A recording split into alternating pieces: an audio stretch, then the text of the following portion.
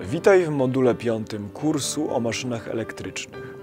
Materiały elektroizolacyjne nazywane są również dielektrykami bądź izolatorami elektrycznymi i są to materiały, w których bardzo słabo zachodzi przewodzenie elektryczne.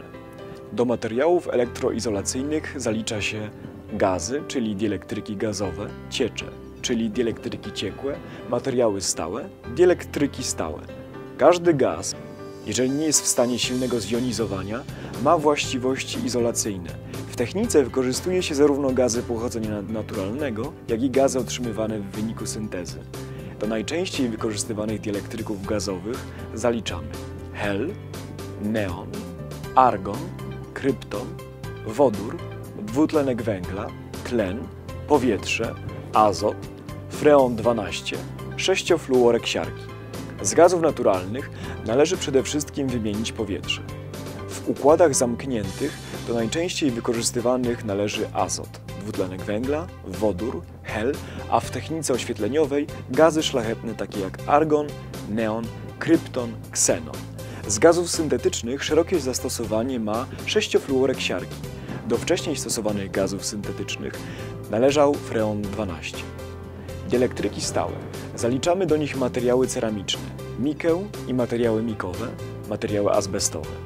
Rozróżnia się również materiały elektroizolacyjne, stałe, organiczne, naturalne, takie jak na przykład materiały celulozowe, asfalty i woski. Do dielektryków stałych syntetycznych zalicza się tworzywa sztuczne takie jak polimery, termoplasty.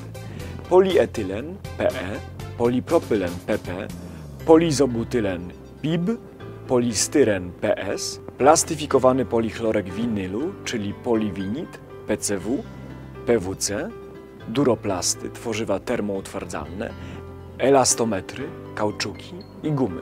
Ponadto zalicza się do nich półwyroby z tworzyw sztucznych takie jak tłoczywa, żywice lane, laminaty, koszulki elektroizolacyjne, folie elektroizolacyjne, taśmy samoprzylepne elektroizolacyjne, wyroby termokurczliwe. Dielektryki ciekłe. Dielektryki ciekłe można podzielić na oleje mineralne i oleje syntetyczne. Ropa naftowa, z której otrzymuje się oleje izolacyjne, jest głównie mieszaniną węglowodorów nasyconych parafinowych, naftenowych i węglowodorów aromatycznych. Do najczęściej stosowanych olejów syntetycznych należą oleje na bazie węglowodorów aromatycznych oraz oleje estrowe. Do rzadziej stosowanych syntetycznych, trudnopalnych cieczy dielektrycznych należą oleje silikonowe. Nie stwarzają one zagrożenia dla środowiska, ponieważ są biodegradowalne. Jeśli chcesz poszerzyć swoją wiedzę, zachęcam Cię do przeczytania skryptu, dostępnego na platformie szkoleniowej.